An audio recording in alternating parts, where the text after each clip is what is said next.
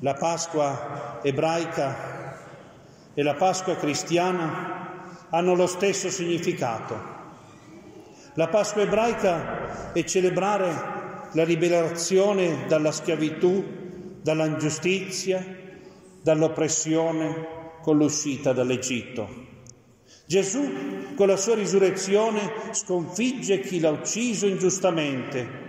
Quindi la risurrezione è la vittoria sull'ingiustizia, sull'oppressione, sulla schiavitù.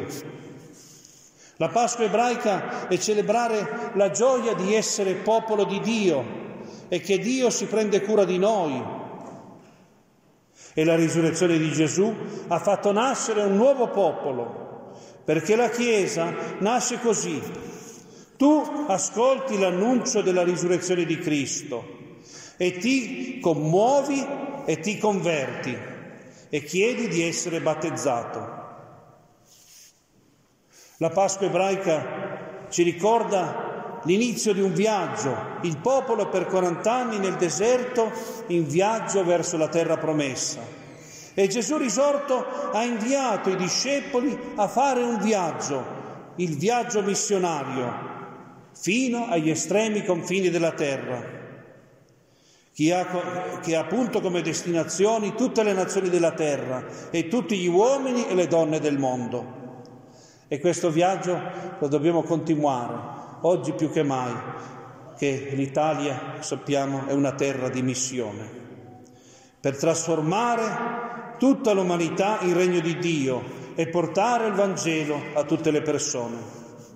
Gesù avrebbe voluto cominciare lui direttamente a realizzare il regno di Dio, ma è stato fermato dalla violenza umana. E allora con la sua risurrezione Gesù ha prima di tutto realizzato il regno di Dio in se stesso, ci ha mostrato in se stesso ciò che saremo noi, ciò che saremo tutti, ci ha manifestato il regno di Dio e ha dato a noi l'incarico di diffondere a tutti questa realtà. E lo possiamo fare perché Lui è vivo ed è con noi sempre. Questo è il realismo della risurrezione. Tu cristiano che hai Cristo dentro, se fai qualcosa nella società, ha un'efficacia che gli altri non hanno. Perché è Cristo risorto che agisce in te. E guardate la vita dei santi. I santi dimostrano questo, le opere fondate dai santi, da Don Bosco, dal Cottolengo, eccetera, pensando solo ai nostri santi torinesi, sono ancora qui e sono più che mai fiorenti e continuano a fare i frutti e se vai al Cottolengo oggi capitano quei fatti della provvidenza proprio come i primi tempi. Ecco, come mai? Perché i santi fanno opere di Dio, opere con la forza di Cristo risorto. Ecco, questo siamo noi cristiani. Ecco, per quello quando noi cristiani ci richiudiamo in noi stessi, nel nostro egoismo, nella nostra chiusura, ecco, facciamo un delitto tremendo, perché noi abbiamo la forza di cambiare questa società, ce l'abbiamo noi e dobbiamo essere noi impegnarci. Sapete che il Papa Me lo ricordava Don Alberto l'altro giorno, nell'Apocalisse c'è una bellissima immagine. Io sto alla porta e busso, se qualcuno mi apre entrerò, no? E che vuol dire che Gesù vuole entrare nel nostro cuore, ma eh, giustamente la maniglia ce l'abbiamo solo da dentro e quindi lui bussa, non può, non può entrare. Però dice qualche volta Gesù è dentro e bussa, fatemi uscire. No? Portatemi fuori. Ecco, sappiamo che portare Cristo risorto è prima di tutto con la vita. Ecco, portare veramente, noi abbiamo dentro queste attenzioni, questo sguardo di preferenza per i poveri, questo eh, pregiudizio positivo sulle persone che sono nostri fratelli e sorelle, che siamo figli di un padre. Abbiamo queste realtà dentro, questo fuoco dentro.